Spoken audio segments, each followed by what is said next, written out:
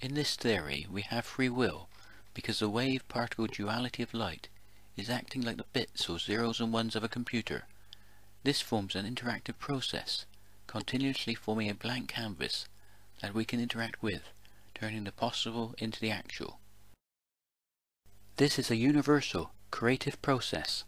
We see light photon energy variations in the atmosphere, forming snowflake diversity, with no two snowflake patterns being exactly the same.